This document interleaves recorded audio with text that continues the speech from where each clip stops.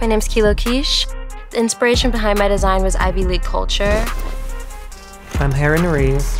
The message behind this project is craftsmanship and beauty of DIY. My name is Ken Wajubu. The jacket is a symbol of who we are and how we experience life.